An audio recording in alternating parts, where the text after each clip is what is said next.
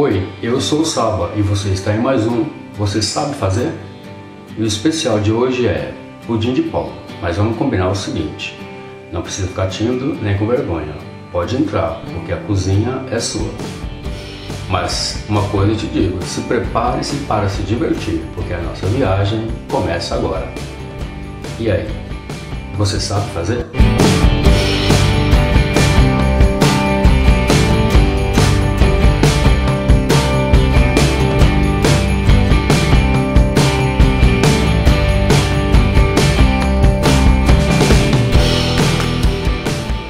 Para essa receita nós vamos precisar de um liquidificador de no mínimo 3 litros.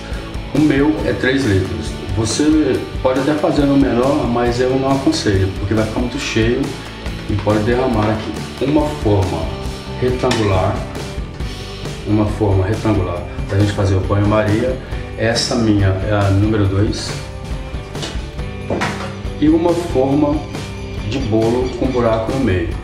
Essa não tem a numeração, mas eu vou passar as medidas para você, para você não fazer errado. A nossa forma retangular, ela tem 36 centímetros de comprimento e 25 centímetros de largura. E a altura dela, 6 centímetros de altura. Combinado? Com essas medidas você não faz errado.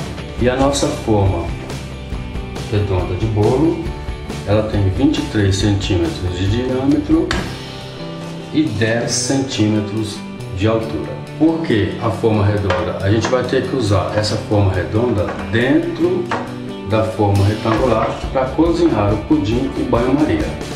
Esse é o segredo. Então, sem mais papo, vamos para a nossa receita. E eu tenho, só tenho que te agradecer, que bom que você está aqui, porque a gente vai se divertir bastante. Então, para essa receita, você vai precisar de três pães amanhecidos, 1 litro de leite, 4 ovos, 1 vidro de leite de coco 200 ml, uma lata de creme de leite, uma lata de leite condensado, um copo americano de açúcar, 2 colheres de sopa de maisena, 2 colheres de sopa de leite em pó, uma colher de sopa de margarina, uma colher de chá de café em pó solúvel e uma pitada de sal. Primeira coisa a se fazer para fazer um pudim é você preparar a calda, a calda que vai embaixo, para depois você fazer o pudim propriamente dito. Você vai colocar um copo americano de açúcar e meio copo americano de água. Isso é para fazer a nossa calda. Para começar a nossa receita, nós vamos pegar os três pães amanhecidos e vamos picar ele já direto dentro do, do liquidificador. Esse leite é para molhar o pão.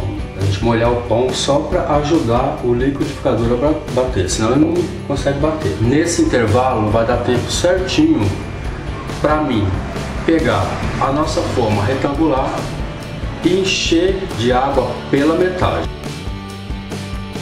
Você deve colocar a forma com água na parte de baixo do forno para que essa água ferva. Nessa sequência, a gente continua então fazendo a nossa calda. É você vai pegar a calda, vai colocar somente na parte de baixo, pelo amor de Deus, não queima a mão porque essa calda está quente. Nessa sequência, a gente continua então fazendo o nosso pudim. Quatro ovos, só os ingredientes líquidos, leite de coco, o creme de leite mais o leite condensado. A gente vai dar uma leve batidinha de dois minutos e na sequência a gente vai dissolver o nosso café em um pouco de água quente deixa o liquidificador ligado e a gente vai colocar agora os produtos secos. Nessa sequência a gente vai começar com um copo americano de açúcar, a maisena, o leite em pó, a gente continua então com a margarina e para finalizar uma pitada de sal.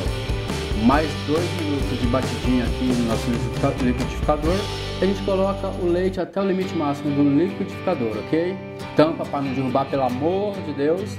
Coloca na nossa forma e deixa no forno por 50 minutos, combinado? Você está pronto para ter uma surpresa?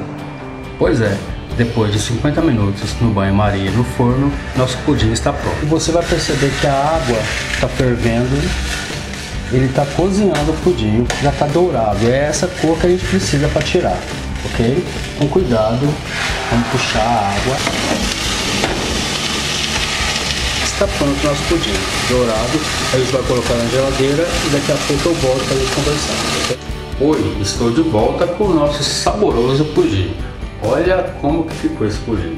Acredita ou não? Conforme combinado, nós deixamos duas horas na geladeira para gelar o pudim para a gente conseguir desenformar. A gente tem uma técnica bem rápida para fazer esse pudim sair. Nós vamos colocar o pudim e vamos ficar rodando. A gente vai ficar rodando, mas pode ficar tranquilo que você tem que esquentar mesmo para que essa calda embaixo ela derreta e fique mais fácil de sair o pudim. Não precisa fazer isso, eu só estou fazendo para não ter problema. Vamos enfiar até o fundo e vamos fazer essa, esse movimento até você chegar ao final. A gente fez a volta, vamos fazer aqui, mas não vai enfiar a faca até o final. Só um pouquinho, só para a gente ter certeza de que está solto, ok? Você consegue ver pelo barulho que já está bem solto nós vamos pegar um prato que caiba o pudim inteiro e vamos fazer esse movimento. Bom, ele caiu. Agora a gente tira, a gente percebe, a gente percebe que a calda, ó, a calda ela fica congelada embaixo, por isso que não deixa sair o pudim.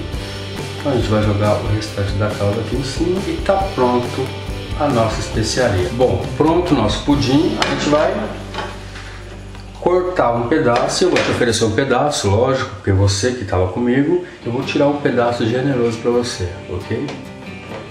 Você me aguentou o dia todo fazendo esse pudim, então você merece. Está pronto o nosso famoso pudim. Cara, na boa, se eu soubesse que era tão gostoso assim, eu tinha feito antes. Isso aqui não é um pudim, cara, isso aqui é manjar dos deuses, não pode. Experimentar um pedacinho, cara, delicioso. Na moral, delicioso faz o seguinte, me manda uma mensagem, me manda um comentário e me fala como que ficou o seu. Porque esse aqui tá delicioso, eu não vou nem conseguir parar de comer. Mas a gente se vê no próximo vídeo. Ok? E aí fica a pergunta sempre. Pudim de pau. Você sabe fazer? Não tenta consertar. É isso a receita e ponto final. A gente vai mexer de baixo para cima em uma direção só. Isso é coisa de vó, coisa de, da receita. Lado começou do lado direito, termina do lado direito. Nunca inverte a direção de que você está batendo. Ok? Está pronto o nosso bolo.